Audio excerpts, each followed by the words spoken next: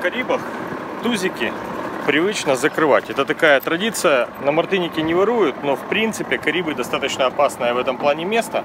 И чтобы вырабатывалась правильная привычка, мы закрываем на ключик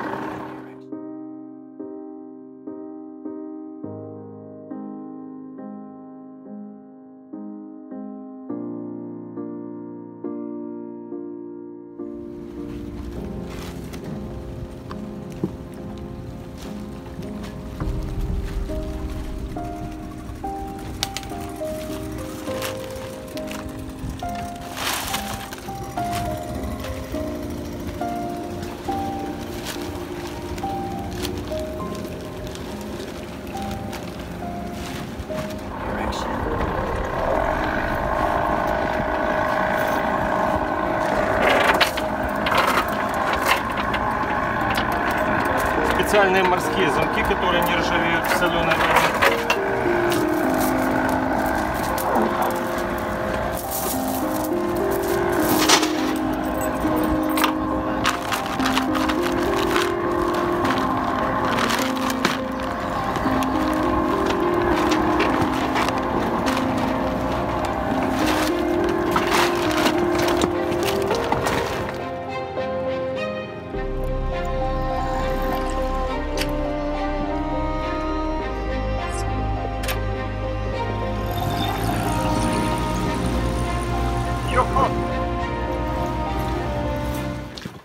Мы приехали сейчас на, тузе, э, на тузике, на лодку и просто разгружаем пакеты из супермаркета к нам на борт. О том, что мы купили и за сколько мы расскажем чуть-чуть попозже. Но вот доставка происходит следующим образом. То есть это одно из моих любимых мест на Карибах. Потому что в супермаркет можно ездить как на машине, просто на тузике. Приехал, скупился, приехал на лодку. Отлично. Итак, продукты, которые мы купили, нам обошлись в 200 евро, 190 с копейками. Но у нас там и бытовая химия, и все. Вот как они у нас выглядят. Итак, первая часть нашей закупки это заморозка, то, что уходит в морозилку. Мы купили 2 килограмма грудок куриных по полтора евро за полкилограмма. Мы купили свиных, э, таких вот, это 3 евро за килограмм. Это килограмм? Это килограмм, А, да. ага. И э, говядина э, 10 евро за килограмм, уже такие в виде отбивных. И сардины килограмм где-то порядка 4 евро. Все это уходит в заморозку, это у нас недельная-10 У нас морозильная камера, в которой у нас просто вот это все хранится. А, и э, купили вот за 4 евро тут на 8, на 8 котлет, да, фарша. Ну что, продолжаем рассказ о том, что мы купили. Так, дальше. Овощей мы купили очень много, потому что, чтобы часто не ездить и сумки с собой не возить. Э, Короче, в этом супермаркете очень хорошие цены на овощи, поэтому мы скупились прилично. Короче, яблоки по 2 евро за килограмм. Яблоки какие-то супер с препозиция за полтора евро за килограмм. Виноград не очень вкусный, но днем хорошо заходит из холодильника. Огромное количество морковки, потому что морковка свежая и прикольная, это мы будем фреши почем она делать. была? Она где-то по 2 евро за килограмм. 2 евро, да? Ну, Да, что? тут э, помидоры немножко странного вида, но это лучшее, что есть пока. Где-то 3 евро за килограмм. Очень странного вида огурцы. Они тут все, это самые маленькие. Я выбирала тоже там, ну все в таких пределах. Дальше несколько видов тапиоки. Это не тапиока, Это не это, тапиока. бататы. Бататы, Это сладкий картофель. сладкий картофель из Сережиных покупок и его будущих блюд. Это маниока. Маниока. Подожди, дай я ближе покажу эту маниоку. Это, на самом деле это все такое типа картошки. Она Корнеплоды. с- корнеплоды с разными этими. Имбирь, там где-то 3 евро или 4 евро килограмм. Вот эта фигня. Эта штука называется Кристофер, но что это такое, я не знаю, мы решили просто его вот купить. разрезать и посмотреть, что это такое вообще. Потом пучки зелени с корешками, салат э, за полтора евро. Не, по-моему, евро 20 за пучок. Вообще во, французских, во французских территориях еда очень вкусная. То есть и в супермаркетах нельзя сказать, что дешево, но это, кстати, один из самых Нет, дешевых это дешевый. супермаркетов. Относительно Карифора он реально дешевый, потому что там куриная грудка стоила 10 евро за... Нет, 23 евро за полтора килограмма. А здесь похожая цена, кстати. Нет, Здесь здесь 16 это килограмм была куриная грудка. Полтора евро за полкилограмма пачку. Короче. Ладно, давай, это мы тогда пакуем и идем И дальше. два вида бананов. Да. Одни бананы, десертные бананы называются. Это обычные стандартные. бананы, такие как костариканские, а И это местные вот мартиникские. такие с закорючками бананы. Мы их, когда будем есть, я расскажу, какие они там по вкусу. Ну и мята в коктейле. Это из овощ... фруктово-овощное. И еще авокадо 4 штуки. Тоже они где-то в районе 3 с лишним евро за килограмм. Следующая секция продуктов это, короче, не знаю, общие средние продукты. Соки томатные где-то по полтора евро. Э, уксус яблочный евро 60. Яблочное пюре очень популярный тут продукт. Э, яблоки, печеньки, мороженое где-то по 3 евро за упаковку. Хлеб всегда свежий, вкусный. Э, Сережины любимые паштетики по полтора евро. Фуагра, фуагра. Фуагра, фуагра. Наш э, супер любимый продукт это сливки в молоко. Они не, не во всех регионах продаются. Здесь увидели, обрадовались, накупили. Это вместо наш молока в кофе. да. Потом йогурт, творог. Ну, собственно, и все. Вот. Это из среднего такого. Базилик по пол евро за баночку. Э, По бытовой химии мы тоже скупились. Это мы делаем где-то раз в месяц, раз в два месяца, в зависимости от интенсивности использования всего. Короче, из прикольного тут есть э, в сыпучем виде хлорка.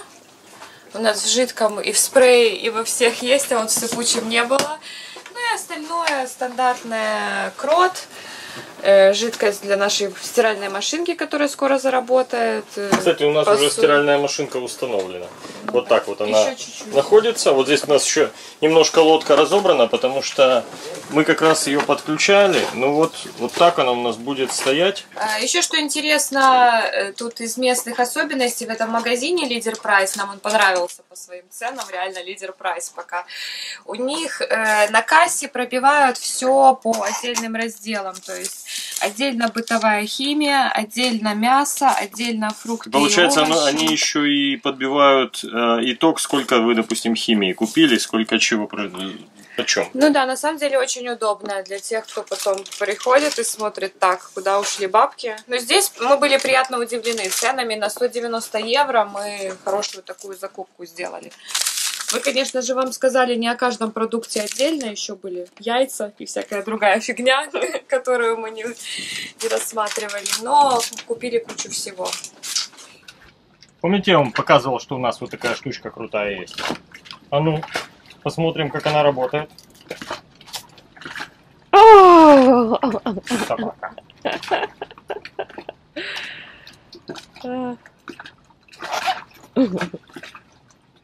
Круто работает. Ну, вторую дырочку, чтобы было пить удобно. По одной же никто не делает. Потом берешь так и... М. Это мой кокос. Держи, забирай свой кокос. Ну что, идите сейчас я покажу, что здесь вообще вокруг происходит.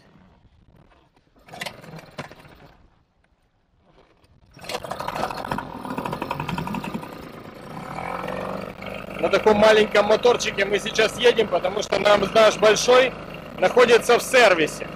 А на Карибах 3,5 лошадиных силы это очень мало, катастрофически мало из-за того, что большие расстояния и где-то миля, полторы мили, две. И на таком тузике при скорости 4, там максимум до 5 узлов, это очень долго. Вот наша скорость 4,3, сейчас 9,30. И вот мы проехали пока 0, только выехали. И сейчас мы когда доедем, я покажу, сколько времени заняло, какое расстояние. Сейчас мы проезжаем через якорную стоянку, это вот там марина, а здесь просто якорем. И есть еще одна марина, Э, кстати, видите, лодка затопленная, одна мачта из воды торчит. вот эта марина, но она более техническая, и вот этот пирс более технический. Это, э, сюда люди швартуются, те, которые в основном нужно ремонтировать лодки, потому что здесь находится коренаж. То есть это центр, когда поднимают э, лодки краном, и тут находится много всяких технических мастерских, магазинов. Это именно то место, куда мы едем. Я покажу, э, как сюда добраться. Тут есть хороший доступ для Тузика, прямо Тузиковый пирс.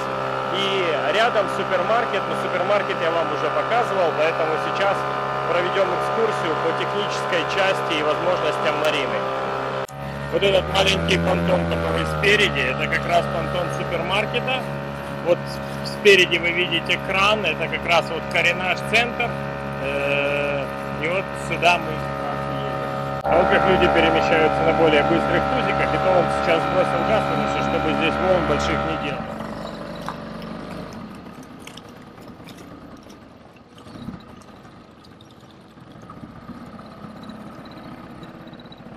Понтон для тузиков.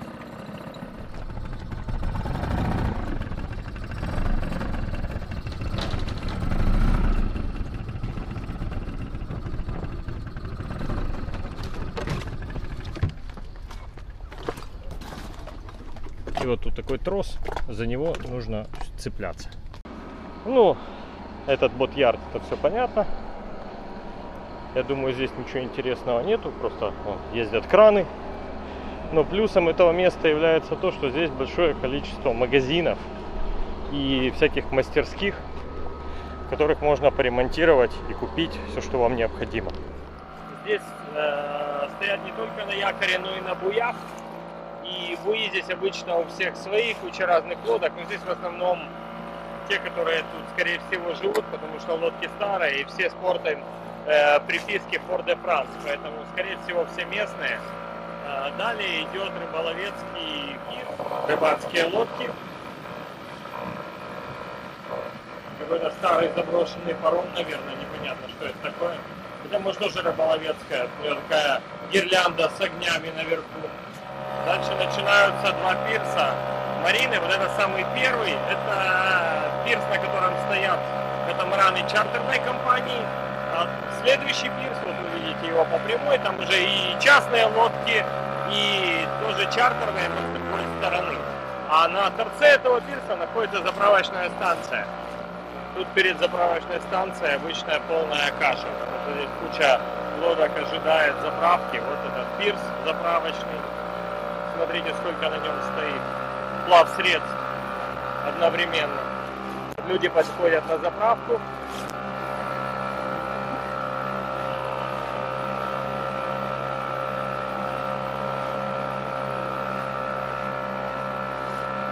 есть три одновременно, еще иногда тузики сюда швартуют для заправки топлива. Видно. Марина большая. Мы потом пройдемся по пирсам, я вам покажу. А сейчас мы подъезжаем э, к месту, где находятся еще дополнительно магазины и одно кафе. Кафе, кстати, дорогое, порядка 25 евро на человека будет стоить одно блюдо. Но мы едем в магазин для того, чтобы забрать Вот спереди этот механик Плезанс, мы туда идем, здесь большой магазин, чисто технический. А это пирсы для тузиков, сюда можно на тузах приезжать и швартовать свои лодки, но здесь обычно с местом полная уже. Найти надо еще где стать. Здесь очень плотно с тузиками, очень плотно. О, я вижу место.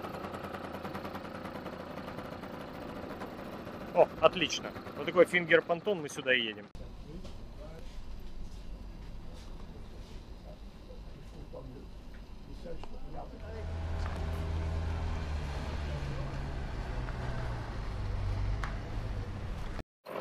Сейчас едем дальше. Это тоже находится в Марине, и там центр, в котором делают кабеля, всякие троса и прочее, ригинг, ригинг-центр. А, это тоже компания которая называется Кариб Марин. У них здесь находится большой магазин, а там у них находится мастерская. И там тоже есть понтон для тузиков, где можно тузик оставить. Мы сейчас проедем по всей Марине. центральный вход, который э, от заправки прямо. И вот вы видите, там в конце есть место, где можно оставлять тузики. Есть еще э, место возле мастерских, где можно тоже оставлять. Сейчас мы едем к мастерским. Вот то место. А вот это справа Индиго, это ресторан. Еще один. Вот еще одно место под тузики, здесь можно их также оставлять. А почему все тузики закрепляют? То есть, как мне сказали, что Мартыника самое безопасное место, но тем не менее у меня у друзей тузик сперли, поэтому они рекомендовали все закрывать. Причем воруют не местные, а именно туристы такие, джипси стайл. Так что будьте внимательны. Вот туда находятся понтоны, на которых ставят лодки приезжих. А если идти сюда, это все технические понтоны. Здесь происходит ремонт. Equinox это компания, которая специализируется на нержавейке. А мы идем вот сюда. Здесь ремонтируют ригинг. Кстати, очень крутые ребята. Продолжаем рассказ о Марине. Для того, чтобы стать в Марине на понтон, вы видите, как вот сейчас происходит, швартуется лодка. Э, нужно обязательно позвонить Маринера, он подъезжает, вот увидите кучу буйков. Э, он подъезжает, берет швартовый, заводит его на нос, и задом вы заезжаете на пирс. Вот Маринера, кстати, который этим занимается, вот он готовит буй для швартовки.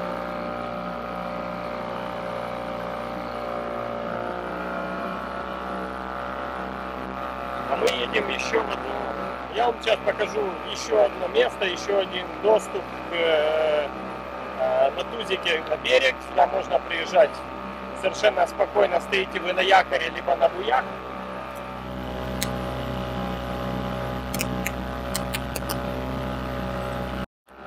Прямо находится стоянка, буевая стоянка. И тут стоят лодки, которые э, также стоят в марине. Стоимость стоянки на буе для нашей лодки составляет порядка 100 евро в месяц, а если вы стоите в марине, это 30 евро в день. То есть, в принципе, относительно нормальные цены, если учитывать всю инфраструктуру и весь сервис. Дополнительно оплачивается вода и электричество. У нас за три дня получилось 6 евро, то есть это все относительно дешево. Но мы не пользовались кондиционерами, поэтому потребляли ну, совершенно мало. То есть там компьютеры, а все бортовые системы у нас автономные. Вот мы проезжаем сейчас мимо Марины. Стоят и большие лодки, и маленькие. И едем в самый дальний край, и оттуда поедем налево вдоль Марины. Мы ее как бы объезжаем сейчас полностью по кругу. Вот мы сейчас доезжаем уже до самого края Марины. Поворачиваем.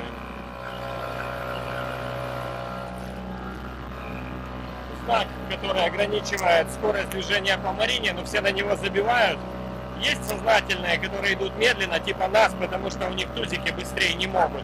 Но в принципе обычно здесь все такие, а и поехал на пирс. Но если стоит полиция, могут ругаться сильно, типа сбрось ты скорость, но я не помню, чтобы штрафовали кого-то за это. Но ругаются. Мы уже почти доехали. И вот смотрите, это значит, что у нас закончилось топливо в тузике. Вот мы проехали 3 э, с копеечками мили, вот это то, на что хватило полного бака в этом двухтактном моторе.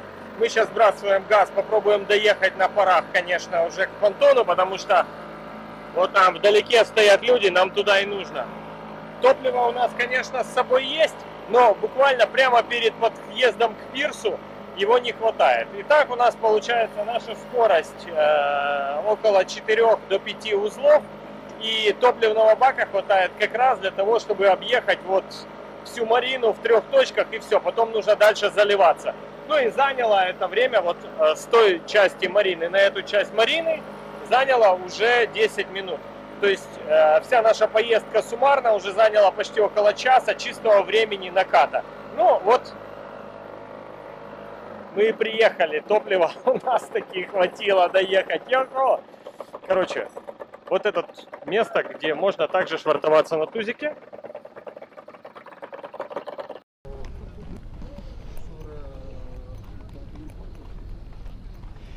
Вот в этой части находятся все рестораны и э,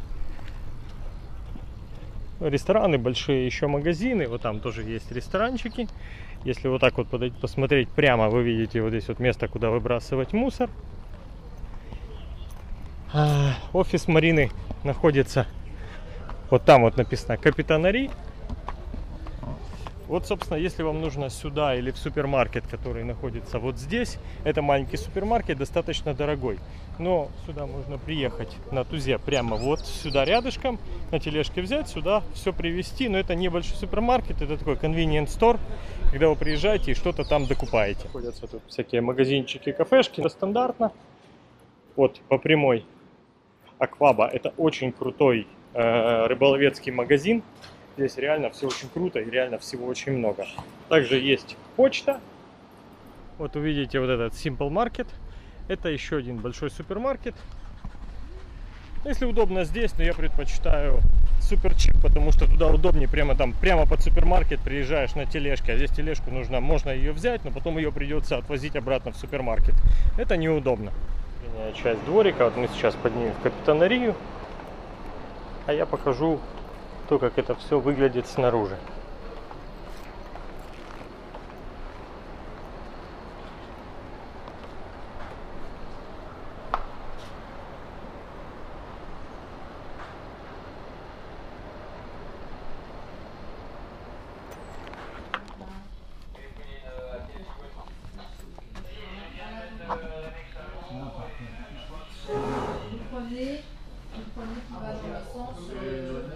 Я только что показал Марину. Здесь очень интересно проходит система чекинов. Заходишь компьютер, на компьютере сам автоматически вбиваешь свои данные, говоришь окей, эти данные идут там в э, таможню, и они ставят печать, штампик стоит это 5 евро.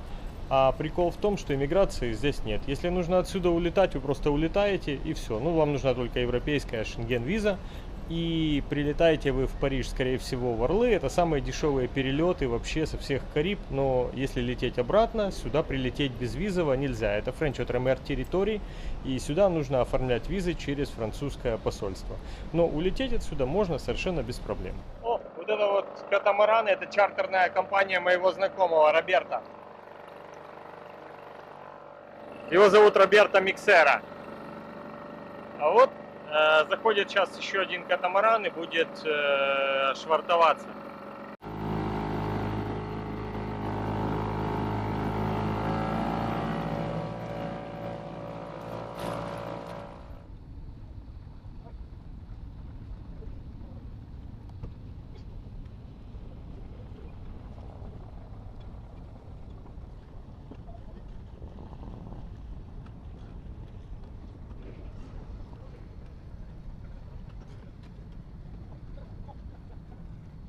Так, мы выезжаем из Марины.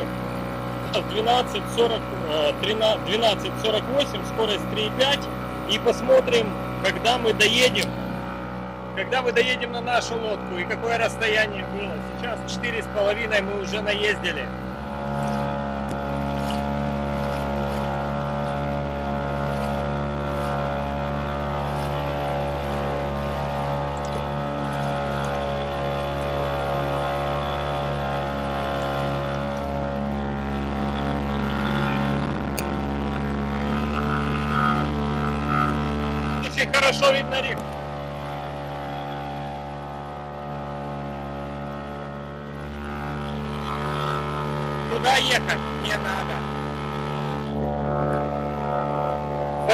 with it.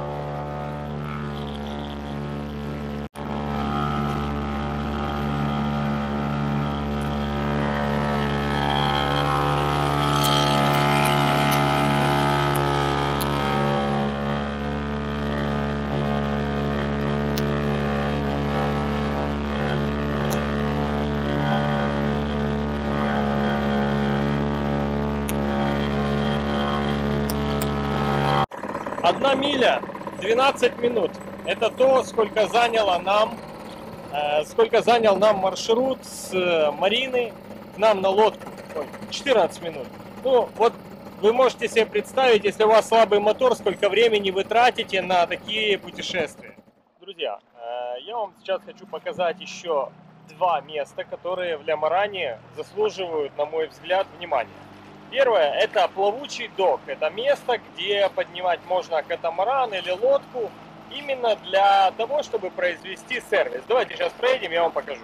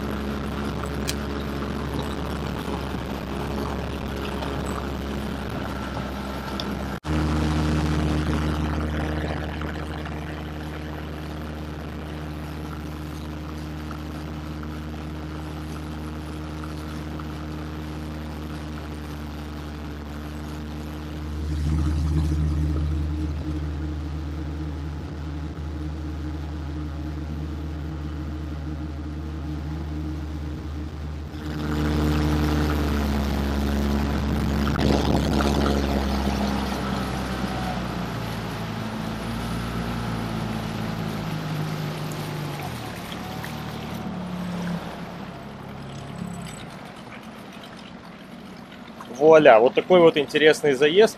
А тузики здесь привязывают прямо к лестницам.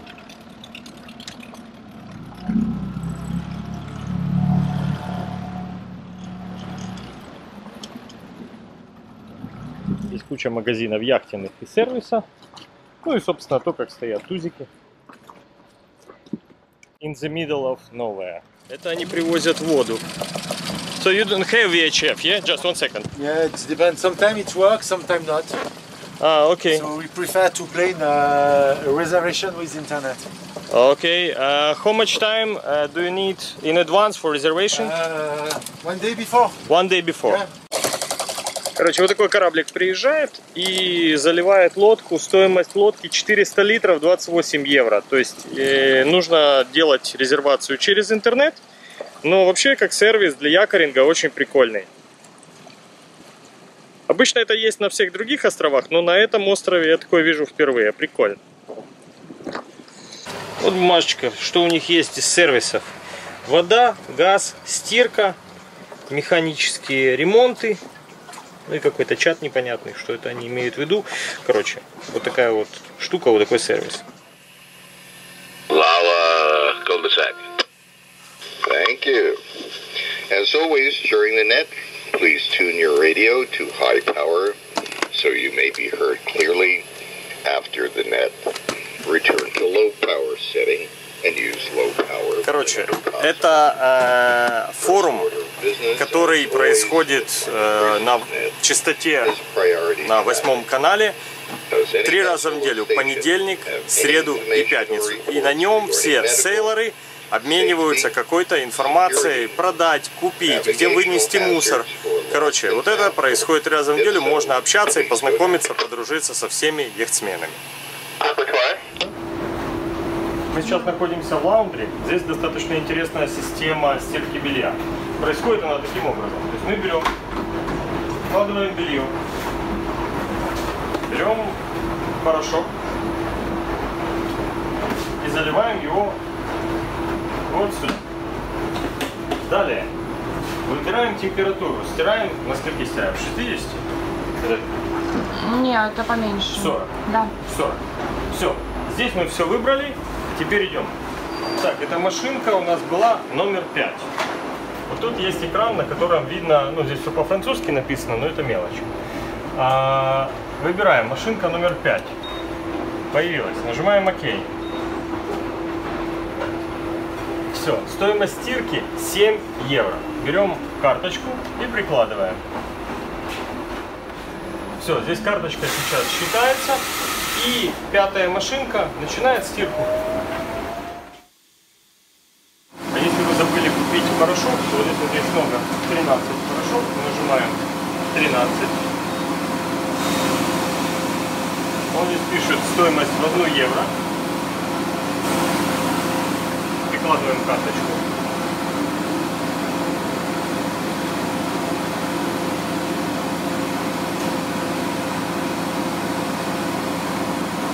дождаться.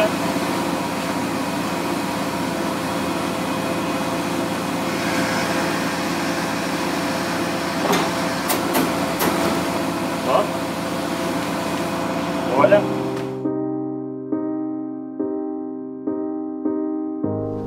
Друзья, спасибо за то, что остаетесь с нами и смотрите нас. В этом выпуске мы рассказали вам о Марине Лямаран, то есть скорее всего, этот выпуск он был интересен яхтсменам, которым важно знать по приходу на Карибы, что ожидать от данного региона. Поэтому не забывайте ставить лайки, подписывайтесь, а мы будем дальше вещать. Пока, до встречи!